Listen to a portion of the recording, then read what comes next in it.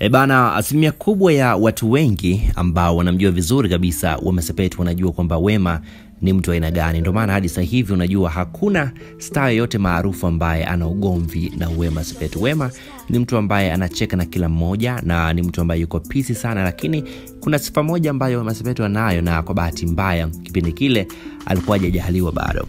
Unajua, ukiingia kwenye akaunti ya Instagram ya Wema Sepetu, ukija huku Snapchat, utakutana na video mbalimbali ambazo Wema anaposti picha pamoja na video za watoto, na watu wengi wanajua kabisa kwamba Wema ni mtu ambaye anapenda sana watoto na vitu kama hivyo. Na hata huyu mtoto wa Tunda pamoja na Wozu, Wema alijitahidi sana kumtunza mtoto huyu kama mtoto wake wa kumzaa, lakini kwa bahati mbaya, unajua Instagram ni watu ambao wanapendelea sana maneno, hivyo watu wengi wakaanza kusema kwamba Wema, na wewe zawa kwako uanze kumposti na vitu kama hivyo, lakini maneno haya moja kwa moja yalikuwa yanamuumiza sana Wema Sepetu, na alikuwa anaomba sana kwamba siku moja aweze kubahatika kupata mtoto na yeye, lakini sasa hivi Wema unajua ana miaka 32 hivyo.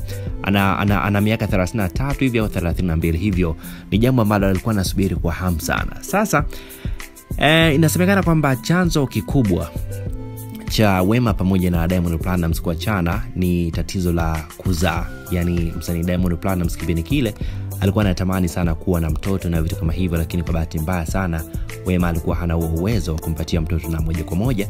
Ndio maana Diamond Platnumz aka move on akamtafuta Zari, na baada ya muda mchache tu Zari akampatia mtoto wa kwanza, baadaye akampatia mtoto wa pili, na hadi sasa hivi msanii Diamond Platnumz ana watoto kama wanne hivi. Kuna mtoto wa Tanasha wa Zari pamoja na wa Hamisa Mobeto. Lakini kwa upande wa Wema bado alikuwa anatafuta sana, na bado alikuwa anaposti sana watoto kupitia Instagram, na watu wengi wakaanza kumwambia Wema, vipi unaposti watoto wa wenzako, wewe mtoto wako utamposti lini? Unajua maneno haya kikweli kabisa ni maneno ambayo Wema Sepetu alikuwa anaumizwa sana, na moja kwa moja ndio maana kuna kipindi ambacho Wema aliondoka kabisa Instagram kwa sababu alikuwa anaumizwa sana na maneno mbalimbali ambayo kila akiingia Instagram anakutana nayo kwamba wewe utazaa lini, mbona unaposti watoto wa wenzako na vitu kama hivyo. Lakini Wema alizidi kumwomba Mungu na baadaye Mungu akampatia mwanaume ambaye anaitwa wozu na wozu kuna siku ambayo alishawahi kutangaza kwamba yeye amebahatika kumpatia Wema Sepetu ujauzito, na hili jambo Whozu aliongea kuanzia mwaka jana mwaka 2023 hivi nahisi, lakini tukawa tunasubiri sana tunasubiri, na baadaye hatukuona na chochote e, kama Wema ni mjamzito au Wema na mtoto na vitu kama hivyo. Lakini jana e, kuna hii hapa video ambayo ameposti Wema Sepetu moja kwa moja kupitia Snapchat na video hii inamwonyesha Wema Sepetu akiwa amevalia vazi zuri kabisa, na inaonekana hapa kama uh, kulikuwa kuna kasherehe kadogo hivi, na video hii inamwonyesha Wema Sepetu akiwa amemshika ame, mtoto mdogo kabisa. Mtoto huyo inaonekana kama na, ana siku 40 hivi na vitu kama hivyo. Sasa watu wengi wanajiuliza, jamani, unajua ni kipindi kirefu sana hatujamwona Wema Sepetu kwa muda mrefu.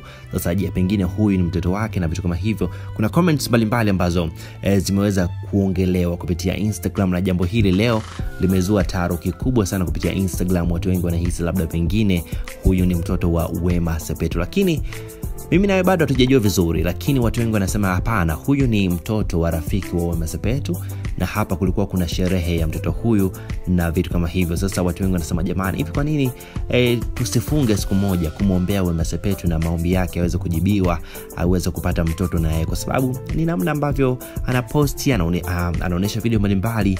Ni wazi kabisa kwamba Wema Sepetu kweli anahitaji mtoto kwa hali na mali. Hivyo kama huyu si mtoto wa Wema Sepetu, basi na na, na, na ni, ni jukumu letu sasa, mimi na wewe tufunge kuweza kumwombea Wema Sepetu siku moja aweze kubahatika na kupata mtoto na jambo liwe vizuri kabisa.